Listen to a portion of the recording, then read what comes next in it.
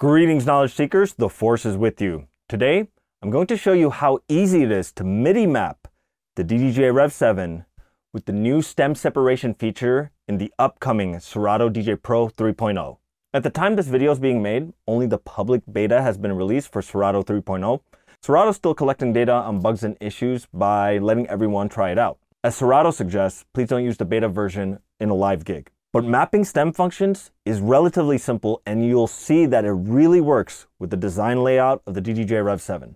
In this video, we're going to cover how to MIDI map the stem functions in Serato to the Rev 7, how the MIDI mapping works with the stem functions, as well as share with you a downloadable XML file that contains the MIDI mapping if you wish to skip the MIDI mapping part. But honestly, it's really easy to do, so I recommend just following along and mapping it yourself. Big shout out to Professor BX for creating the mapping that inspired this video, which is the one that's going to be available for download. But before we do this, let's grab some music from our sponsor. This video is brought to you by Direct Music Service. Check out the description or the pinned comment below for discount codes.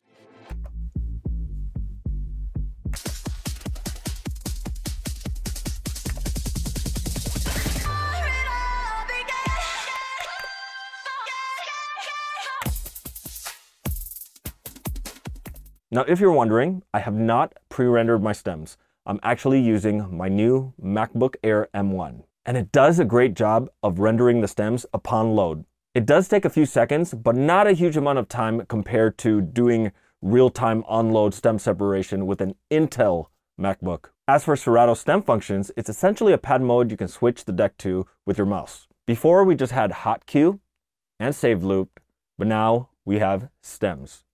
The top row of stems are to toggle or enable the vocals, melody, bass, and drums.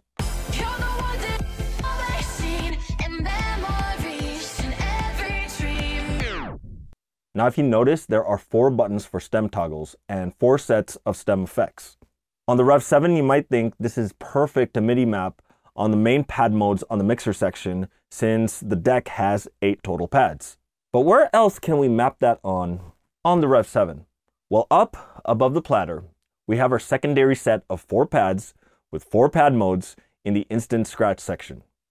What we can do is map the top row of four stem toggles in replacement of the hot cue section. While you can replace any of the four pad modes you want, the reason to choose hot cue is because we already have our hot cues on the mixer. Since these are secondary, you can use them for something else. Also, by replacing the hot cues up here with stem functions, you will have the stem toggles on your controller immediately activated when you power up and connect your Rev 7 to your computer. Now keep in mind, the mapping stays with your computer and it won't work for another computer connected to the same Rev 7 unless you share and activate the mapping on that laptop. So let's quickly map the stem toggles. We're gonna go into our preferences, hit the cogwheel, head over to MIDI, and we're going to select MIDI device, DDJ Rev 7, and we're going to make sure this is checkmarked, allow Serato hardware remapping. And also we're going to make sure that enable output lighting is also checked. Next, we're going to make sure we're in hot cue pad mode on the instant scratch section. We're going to head over to where it says MIDI. And this is how easy it is to map this. What we're going to do is we're going to take vocal, we're going to map it on pad 1, and then melody pad 2, bass on pad 3, and drums on pad 4. And this is how you map it. You simply click on vocal, and then click the button you want it mapped to. Same with melody,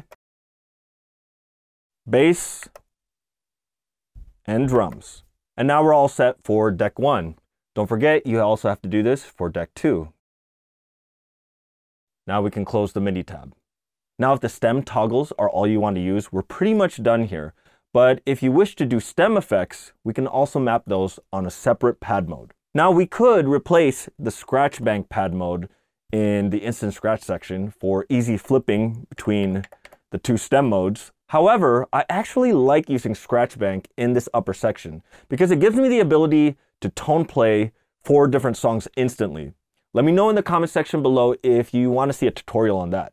So instead of scratch bank, I decided to replace the save loop pad mode, which is accessed by holding shift and clicking the hot cue pad mode button.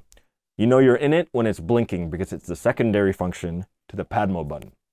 This way, I'll have my stem functions on one pad mode, but I still have my original performative pad modes on the other button, which are Scratch Bank and Sampler. So to MIDI map the stem effects, it's the same process, except we start by activating the save loop pad mode, which we're in right now because it's blinking. So let's do that now. Let's go into MIDI.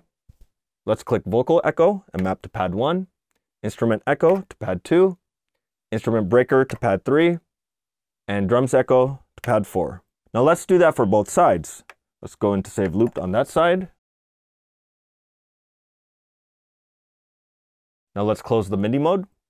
Now before we try this out, let's make sure we save our MIDI mapping in the Serato preferences. Go back to the cogwheel, go to the MIDI tab, and we can click Save As, Stem Rev 7. Now if we ever use a different mapping, we can always refer back to this mapping file to reload our new stem mapping. So let's check out how this works. This track I'm using is Before It All Began by Jake Terra, and it's my official remix of it. Let's go in to Hot Cue, which is actually our stems, our new mapping for stems. You can mute the vocals, mute the melody, mute the bass, mute the drums. Now we can solo each one by muting all the others.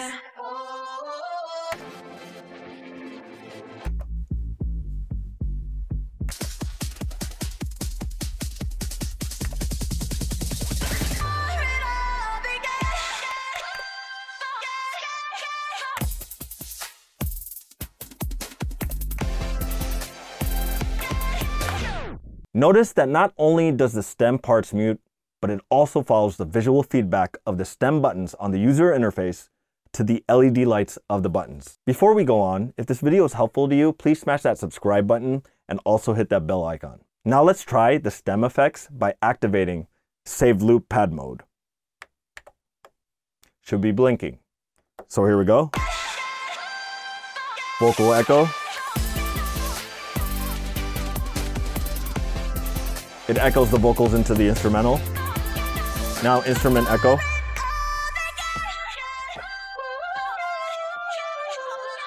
Now instrument breaker. And drum echo.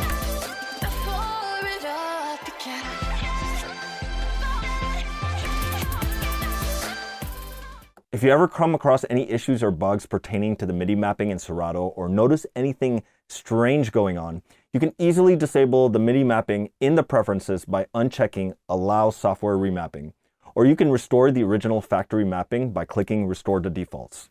Now, if you don't want to go through the trouble of mapping the stem functions yourself, I'll give you a downloadable link to the pre-made stem mapping originally done by Professor BX. Simply download the XML file and drag it into the MIDI folder inside your Serato folder. Now go into your Serato Preferences MIDI tab.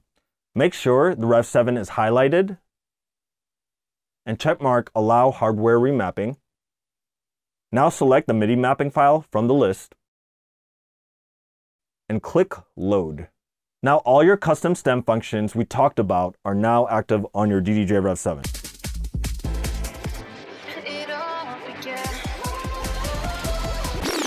MIDI mapping in Serato opens so many possibilities for your DJ controller beyond the factory specs. It's there in the DJ software so you can turn your DJ gear to be perfect for the way you play. In another video, I showed how you can create a cue button on the DDJ Rev 7. Follow this video if you want to find out how to do it. Thanks for watching, and remember, the force is with you always.